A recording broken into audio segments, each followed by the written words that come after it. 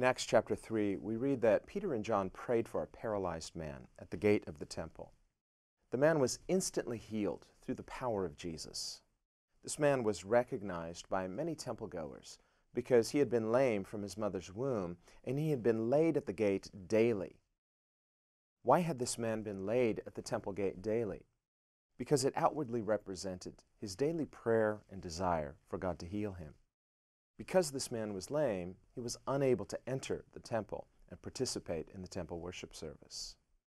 People for years had seen this man laying at the temple gate every day as they came to the temple to worship and pray. We can imagine their surprise then to find this man now completely healed. This was not some private, quiet healing. This was rather a public spectacle.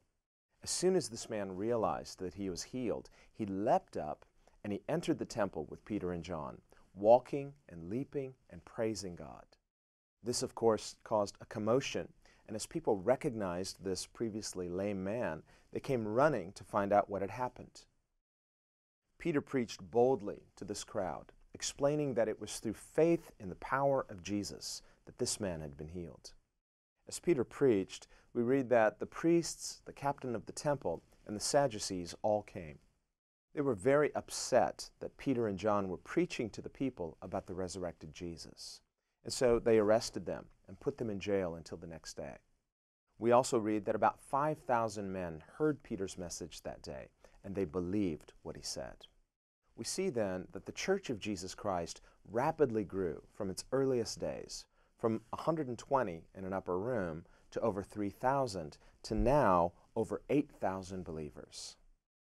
Jesus still saves and heals today. Through faith in Jesus Christ, you and I are forgiven, accepted, and saved. The scriptures state that Jesus Christ is the same yesterday, today, and forever.